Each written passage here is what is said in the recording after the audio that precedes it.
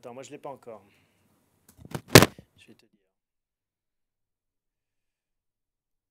Ça se connecte en tout cas.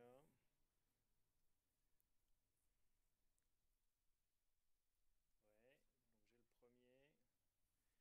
Je vais faire diffuser en direct.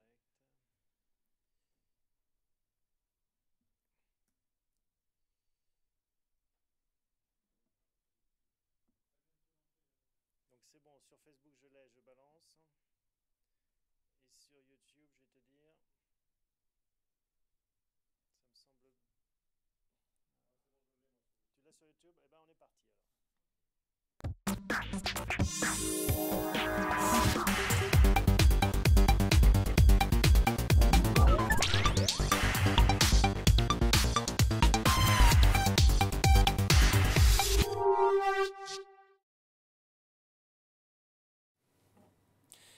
Bonjour à tous, euh, bienvenue dans Parlons Placement. On va euh, parler euh, des marchés financiers, vous en avez l'habitude bien sûr, à deux reprises. En première partie d'émission avec Jonathan Lévy qui nous fera le point sur son analyse mensuelle. Et puis on retrouvera Jean-Gabriel Attali de Kepler-Chevreux qui viendra aussi nous livrer son analyse et éventuellement aussi ses thématiques d'investissement en ce moment.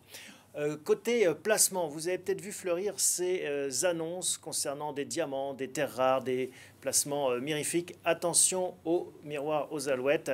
C'est l'AMF qui le dit et Jonathan, non, pardon, Vincent, Vincent Kutkovitz viendra nous mettre en garde et nous expliquer ce qu'il faut regarder avant de se lancer dans ce type d'investissement. Voilà, c'est le programme de Parlons Placement et ça commence tout de suite.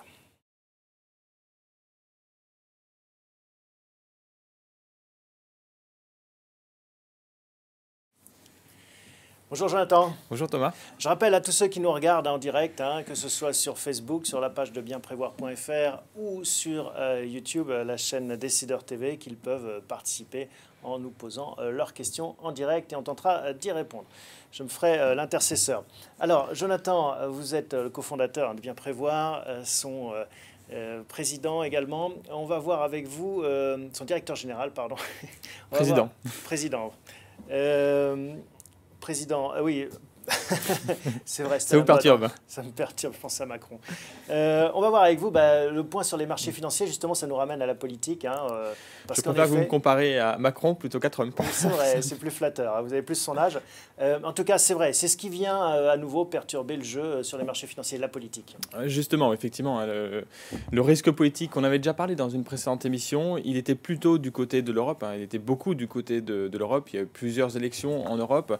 Euh, L'élection marquante, c'est quand même euh, en France, avec un risque euh, politique, avec un risque euh, populiste, le risque que le Front National, Marine Le Pen, arrive au, pouvoir, ça a beaucoup inquiété les marchés en février, en mars, et ce risque-là, donc, s'est estompé avec euh, Malgré l'élection les de- de législatives, Macron. on peut le mettre de côté. Là, il n'y a pas de, de danger fort. le, le danger est, est pratiquement nul. hein.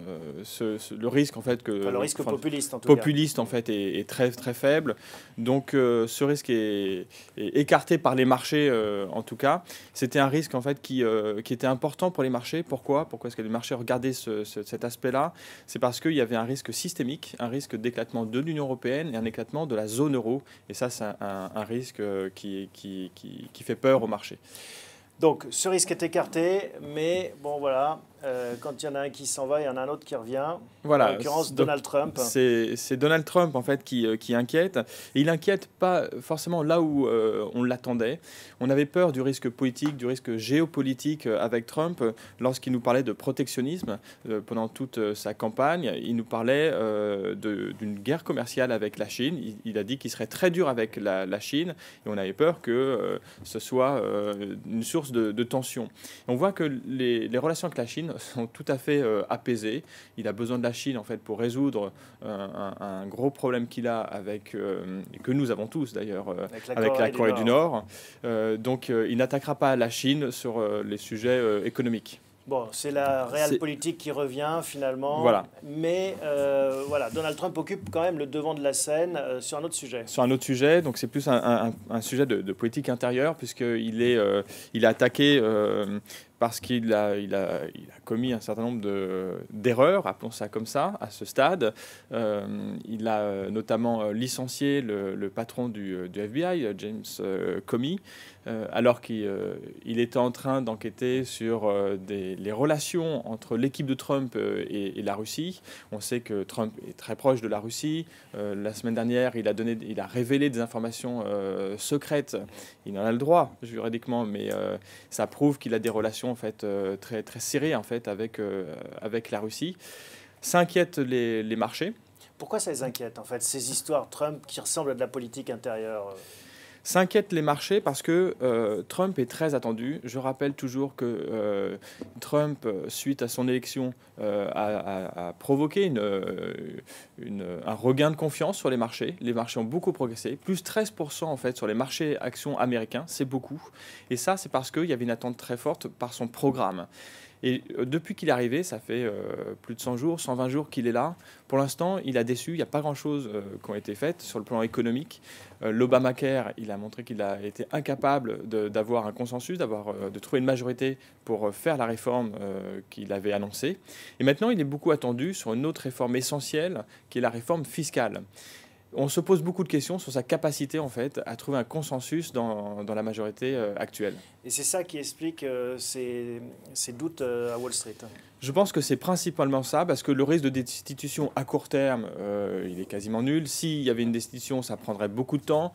La majorité est républicaine, c'est le, Parlement qui doit lancer la, procédure de destitution. On ne voit pas les républicains lancer tout de suite une procédure de destitution. Donc c'est plus le risque, effectivement, de ne pas pouvoir, de ne pas être capable de mettre en place sa politique. Avec des conséquences concrètes hein, sur les marchés, baisse du dollar, hausse de la volatilité Oui, la volatilité des marchés a monté de 40% en une semaine lorsqu'il y a eu ces, ces révélations-là. Le dollar aussi se déprécie hein, depuis, euh, depuis quelques semaines déjà, depuis que ces affaires euh, ont commencé. Alors, ce n'est pas du tout la même réaction qu'on avait pu voir euh, lorsqu'on avait les, les, craintes sur le risque politique, le risque populiste en Europe. En Europe, c'est la, dette française, la dette italienne, espagnole, surtout la dette française, qui était attaquée par, par les marchés.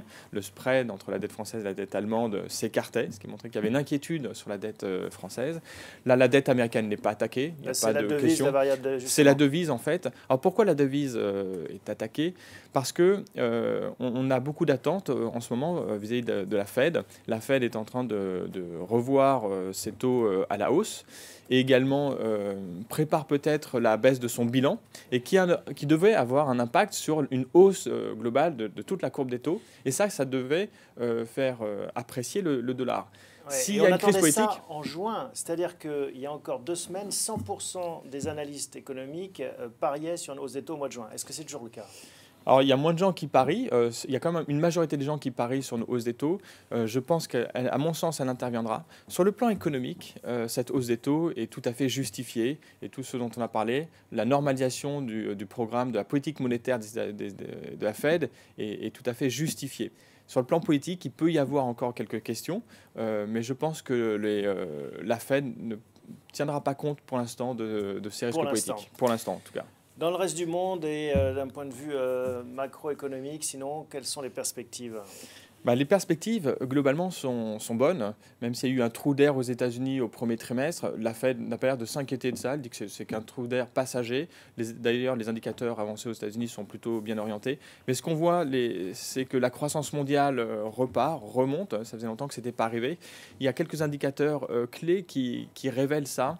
On a eu le Japon qui a eu euh, une croissance forte. C'est la plus forte observée depuis quelques temps. Et le Japon, c'est un bon indicateur parce que le Japon est très dépendant du cycle économique mondial. Euh, ça prouve que si le Japon va bien, que l'économie mondiale repart. Une économie exportatrice. Absolument. Et puis peut-être un dernier point aussi sur le plan microéconomique, euh, donc sur le plan des entreprises. On a eu maintenant euh, les résultats des entreprises au premier trimestre. On voit qu'en Europe, les résultats ont été très bons, plus 23% dans, dans, son ensemble hein, sur la progression des résultats. Les marchés ont beaucoup progressé, mais les marchés ont moins progressé que la hausse des résultats. Donc les marchés sont encore un peu en retard malgré tout. En conclusion, vous restez sur cette stratégie, on l'avait dit lors de précédentes émissions, euh, action européenne, action européenne, action européenne Je pense que là, le, effectivement, c'est vraiment le bon timing pour investir sur les actions européennes. Oui. Encore maintenant Encore maintenant. Merci euh, beaucoup Jonathan et à très bientôt. Vous restez avec nous puisqu'on va parler diamant maintenant, mais pas dans le sens euh, que vous imaginez.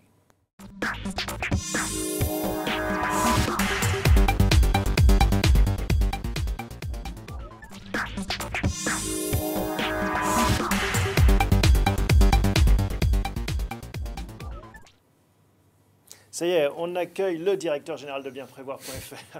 Bonjour Vincent. Bonjour Thomas. Heureux de vous retrouver. Alors en effet, on va parler diamants, terres rares et autres placements euh, mirobolants dont on voit fleurir euh, plusieurs annonces. Et euh, l'AMF siffle la fin de la récréation. Oui, enfin on peut dire enfin. Euh, on espère que ça va. Parce qu'il y avait beaucoup d'arnaques, il y avait beaucoup de problèmes qui étaient dans beaucoup, le Moi, ce que je peux euh, témoigner, c'est qu'en fait, euh, on voit beaucoup de nos clients très avertis parfois qui se laissent séduire par des placements sur les diamants, sur les terres rares. Parfois, maintenant, on voit aussi sur le. Les terres rares sont des, des, des, des, métaux, des métaux précieux qui sont utilisés notamment dans le développement des téléphones portables. Mmh, des donc, voilà, donc, avant les diamants, on parlait des terres rares. Beaucoup de gens se sont fait avoir. Euh, alors, on espère qu'avec la nouvelle réglementation, d'ailleurs, c'est la loi Sapin 2, pour mmh. ceux qui nous suivent et ceux qui sont avertis aujourd'hui. dans d'autres voilà. C'est un autre article, là, c'est l'article 79 de la loi Sapin 2, qui donne en fait aujourd'hui euh, les moyens à l'AMF de non plus contrôler a posteriori euh, une arnaque qui aurait pu se révéler et, contaminer l'ensemble des, des épargnants, une partie du marché des épargnants, mais plutôt de contrôler a priori. Donc c'est ça la grande nouveauté.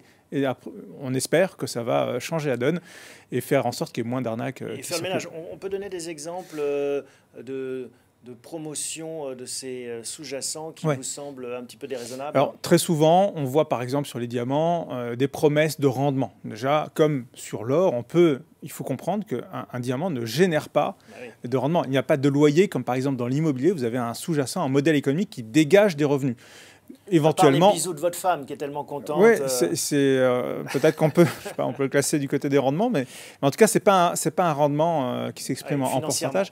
Financièrement, lorsqu'on voit un rendement associé à un métaux précieux ou à des diamants, c'est que déjà il y a un loup parce que ça n'existe pas, ça ne fonctionne pas comme ça. Il ne s'agit que de la revalorisation éventuelle et potentielle qui, pourrait dégager, qui n'est pas certaine. D'ailleurs, dans l'immobilier, sur la SCPI, on n'a pas le droit d'indiquer une espérance de revalorisation. Hein. Euh, il n'y a pas de raison que ce soit le cas sur les diamants. Donc ça, c'est le, premier euh, danger. Euh, quels étaient les autres problèmes liés à ces investissements Les autres problématiques, souvent, lorsqu'on on, est, on voit ce genre d'offres de, publicitaires, on entend, on comprend de la part du promoteur qu'il y a une liquidité qui est assurée. C'est-à-dire que souvent, une des attentes des épargnants, c'est lorsqu'ils investissent dans un placement, de savoir dans quelle mesure ils peuvent racheter leur placement, se faire rembourser, disposer euh, des liquidités rapidement. Et souvent, on voit euh, apparaître des arguments comme liquidité assurée. Or, l'AMF rappelle qu'il n'y a que deux solutions pour assurer la liquidité. C'est soit c'est un organisme de crédit, une banque qui, permet cette liquidité, soit c'est un assureur. Donc, lorsqu'on voit des placements qui parlent de, de liquidité assurée, garantie, il faut se poser la question quel est l'organisme de crédit ou quel est l'assureur qui est derrière? Souvent, il y a zéro structure du type assurance ou bancaire derrière ce, genre de placement. Est-ce qu'il euh, y a aussi des risques d'arnaque euh, plus graves, comme on l'a vu euh, parfois sur certains produits financiers à fort effet de levier? C'est-à-dire que bah, on dépose de l'argent et puis on ne le revoit jamais parce qu'il est parti oui, euh, dans oui, des pays bien sûr. où on à le euh, une, Bien sûr. En fait, euh, ce qu'il faut avoir en tête, c'est que même si aujourd'hui l'AMF met en place un certain nombre de, garde-fous qui vont certainement purger le marché, qui vont permettre également de, faire de la pédagogie auprès des épargnants, on va revenir après un peu peut-être sur les, les, éléments que l'AMF exige. Mais en tout cas, ce qu'on a en tête, c'est que même si cette grille de lecture est mise en place, si la loi se renforce, si l'AMF euh, a une autorité forte sur le sujet, il n'est pas exclu que des petits malins continuent à faire ce qu'ils font aujourd'hui, c'est-à-dire diffuser des publicités sur Internet à partir de l'étranger, hors Union européenne, souvent on constate par exemple que les mentions légales sur ces sites sont très faibles. Il y a un lien vers les mentions légales, mais il n'y a rien en fait. Il n'y a aucune adresse en France. Il n'y a pas de numéro de registre en France. Euh, il n'y a pas de RCS en France. Ça, c'est un signe généralement que ça peut, euh, qu'il y, a un, un loup quelque part. Et ça continuera probablement. Donc euh, même si l'AMF renforce son autorité sur le. Alors justement, restez avec nous. On va regarder. vous nous avez apporté cette grille estampillée AMF. Les cinq points qu'il faut surveiller. On va les voir apparaître à l'écran. Vous allez pouvoir les découvrir et nous les commenter en direct, exact. Vincent. Donc la première exigence euh, forte de la part de l'AMF, c'est maintenant que tous les opérateurs qui distribuent des placements atypiques, ce qu'on appelle des biens divers, s'enregistrent auprès de l'AMF. Donc là, pour obtenir un, numéro de registre, il va falloir monter de blanche, monter un dossier qui va prendre plusieurs mois pour obtenir une validation. S'il n'y a pas euh, de numéro d'enregistrement auprès de l'AMF, déjà, c'est le premier signe que ce, ce distributeur, ce promoteur est probablement euh, en train de vous proposer une arnaque. Alors, il y aura bientôt sur le site de l'AMF une liste euh, des, des, promoteurs, des distributeurs enregistrés. que j'allais vous dire, il hein. faut aller voir la whitelist sur le site de l'AMF directement pour voir bah, si ce revendeur est autorisé. Bien enregistré, tout à fait. Deuxième point. Alors Deuxième point qui était exigé de la part de euh, organisme type conseil en investissement financier, c'est obtenir une assurance responsabilité civile qui garantit en fait financièrement le distributeur et qui protège le distributeur mais également son client en cas de défaut. Euh, et là en fait, euh, là aussi, l'assureur va réaliser un audit. Les assurances ne vont pas assurer n'importe quel promoteur. Donc là aussi, c'est un garde-fou garde supplémentaire qui devrait apporter vraiment une protection plus forte de l'épargnant. Troisième point. C'est ouvrir un compte bancaire dédié. Bon, voilà. Euh, là aussi, on peut poser la question à son distributeur. Est-ce que pour cette opération de placement dans les diamants ou dans les vins ou dans les terres rares, est-ce qu'il y a un compte bancaire dédié? Quel est ce compte bancaire? Le quatrième point, c'est de, s'assurer, alors là c'est peut-être un peu plus difficile pour les épargnants de vérifier ce point-là, pour la valorisation, euh, l'AMF exige qu'elle soit plus transparente, la valorisation des biens euh, sur lesquels sont investis euh, les, les, épargnants. Là, la question, c'est... marché, par exemple, du diamant Quel prix on met sur... Il y, y, a la question de la valorisation, la question de la liquidité qu'on a abordée tout à l'heure. Ça se tient, valorisation, liquidité. la question de la valorisation des, des biens, en fait, c'est le cinquième point de l'AMF, c'est de s'assurer qu'il y a un expert à un moment qui se prononce sur la valorisation des sous-jacents. Et, ça, c'est le point, je dirais, central. Les experts doivent être des experts enregistrés auprès de la Cour d'appel ou euh, auprès d'une Cour de cassation euh, de la République. Donc si on n'a pas un expert désigné euh, par le promoteur et qui lui-même pignon sur rue, là également, ça veut dire qu'a priori, on n'est pas en face d'une solution pérenne. Qui, oui, qui, est fiable. parce que Comment ça se passe? Ces entreprises achètent réellement des stocks de diamants ou elles se fondent aussi sur des contrats euh, financiers? il y, a, de tout, mais généralement, par exemple sur les diamants, on voit passer des publicités où on indique le fait que, alors c'est là aussi un point, souvent on fait allusion à des actifs tangibles, mais en fait vous ne détenez jamais l'actif, vous ne l'avez pas. il est, à la porte voilà, il est comme par hasard logé euh, euh, à Monaco ou dans un paradis fiscal en zone hors douane pour bénéficier d'une franchise supplémentaire fiscale. Bon, tout ça, c'est pas des signes très encourageant. Euh, donc oui, par exemple, il y a ce genre de, signes qui peuvent être aussi euh, interprétés. Bon, un dernier point, il y a quand même des acteurs sérieux sur ce marché. Euh, on peut quand même vraiment acheter du diamant si on Très, très sincèrement, aujourd'hui sur les placements, il n'y en a aucun. Sur les placements, pardon, diamant, il n'y en a aucun. On n'en a vu aucun. Ce sera très intéressant de suivre dans les mois qui arrivent ceux qui arrivent à passer ces barrières-là. Et franchement, ceux qui arriveront à passer ces barrières, ces filtres, avec le contrôle a, priori, a priori, là, on pourra se dire que effectivement, ce sont, des gens sérieux et qui, ont été. On fera un suivi sur ce sujet, c'est intéressant. Tout à fait. En attendant, bah, allez Place Vendôme hein, si vous voulez des, des diamants. Exactement. Euh, c'est encore. Et faites-vous plaisir plutôt que se faire arnaquer. Mais bon, sur ce sujet, c'est vrai que c'est un sujet. Hein, euh, il y a toujours beaucoup de miroirs aux alouettes euh, hmm. sur Internet, dans les, sur les placements, et, et c'est important de savoir trier le bon grain de livret. Exact. Merci beaucoup Vincent. avec à très bientôt.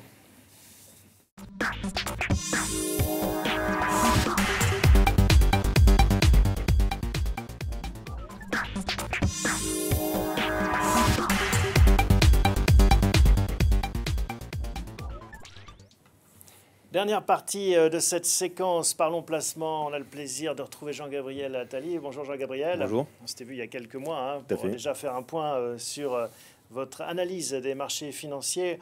On rappelle que vous êtes stratégiste cross asset derivation. Alors, vous nous rappelez un peu la définition?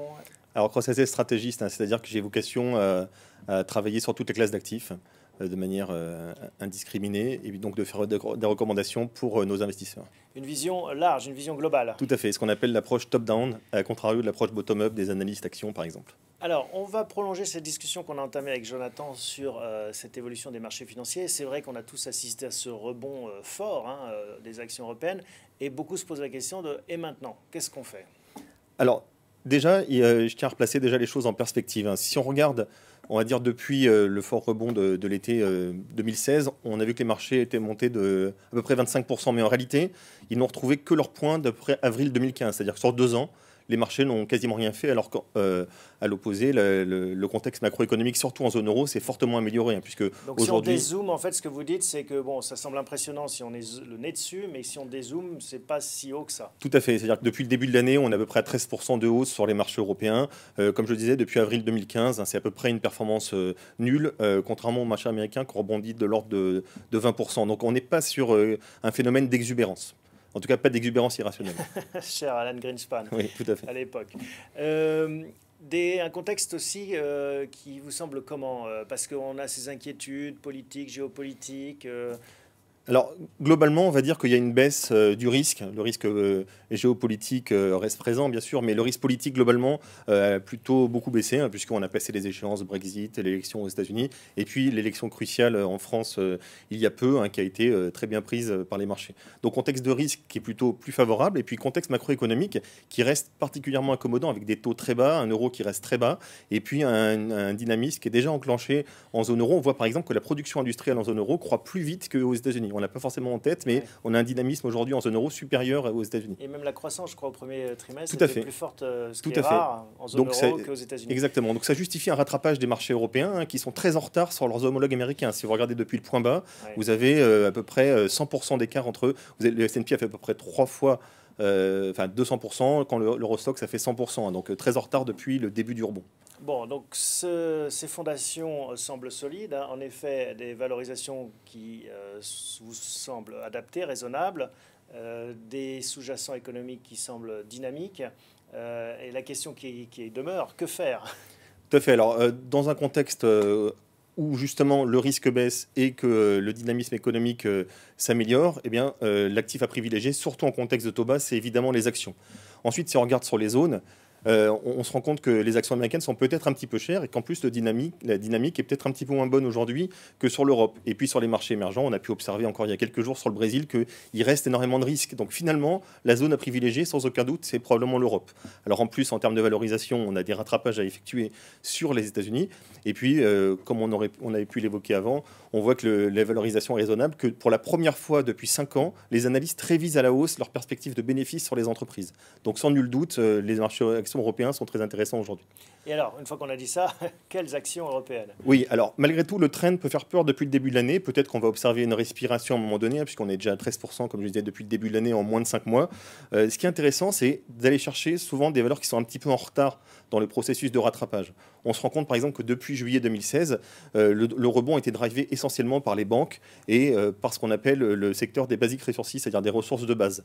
En revanche, certains secteurs sont très en retard, comme les utilities, qui ont une performance nulle hein, depuis le rebond de juillet 2016. Avec des mouvements parfois très violent. On se souvient de la fin 2016, hein, il y a eu deux secteurs euh, qui étaient ceux-ci qui ont fait toute la hausse quasiment. Euh. Tout à fait. Donc en fait, euh, si on a peur du trend qui est très, très puissant, en réalité, lorsqu'on regarde secteur par secteur, le trend n'a pas été si fort et on peut trouver des beaux dossiers qui sont très en retard sur le marché et qui sont même en retard au sein de leur secteur. Alors, je, citais les utilities tout à l'heure, hein, c'est à peu près une performance autour de zéro depuis juillet 2016, donc on n'est pas du tout dans un trend dossier pour le moment. Malgré tout, on a de, beaux dossiers au sein des utilities.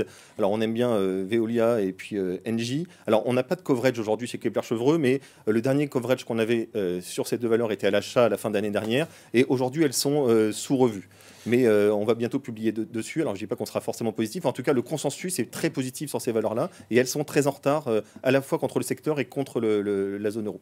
Pour autant, quand on dit, euh, voilà, ce secteur n'a pas performé euh, autant que ses petits camarades euh, ces derniers mois, est-ce que ça donne envie? C'est un peu comme si on disait, bah, c'est le dernier de classe, mais vous allez voir, il va remonter. Oui, alors en fait, ça donne envie parce que la réalité, c'est que le rebond a été drivé par les banques et par les, matériaux de base parce que c'était les valeurs qui avaient, justement le plus souffert précédemment.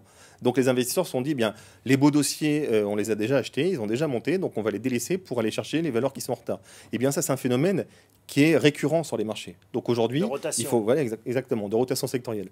Donc euh, aujourd'hui, il faut justement privilégier ces secteurs-là et ces valeurs-là. Donc utilities, il y a d'autres. Alors, pas utilities forcément dans son ensemble, mais certaines valeurs sont très intéressantes. Il y a des secteurs et à l'intérieur des secteurs. Et il y a aussi des valeurs. Picking, tout à fait. des actions. Tout à fait. Donc, il y a certaines valeurs qui sont en plus en retard sur des secteurs qui sont déjà en retard. Donc, je citais Veolia et Engie. Hein, le trend d'ailleurs est plutôt bon depuis quelques temps, mais ce sont des valeurs qui sont très en retard dans leur performance sur un an. Euh, d'autres euh, thématiques, d'autres idées, d'autres envies Oui, par exemple, alors le secteur automobile est à peu près en ligne depuis juillet 2016 par rapport au marché, mais Volkswagen est toujours en retard à la fois sur le marché et sur le secteur. Alors évidemment, on connaît les raisons, mais euh, Dieselgate. Oui, tout à fait. Mais alors déjà, ce qu'on peut dire, c'est que la perte, d'une certaine manière, est déjà prise sur Volkswagen et elle est peut-être à venir sur les autres constructeurs automobiles. Et par ailleurs, nos analyses sont positives sur la valeur parce qu'ils voient une amélioration de la profitabilité et pour eux, ils ont évidemment intégré hein, tout l'impact à venir du Dieselgate. Donc vous dites qu'il y a peut-être un coup à jouer sur euh, Volkswagen. Tout à fait. Alors j'aime pas tellement le mot coup, mais en, fait, en tout cas, il y a un investissement peut-être profitable. Un investissement judicieux, on va tout dire. À fait.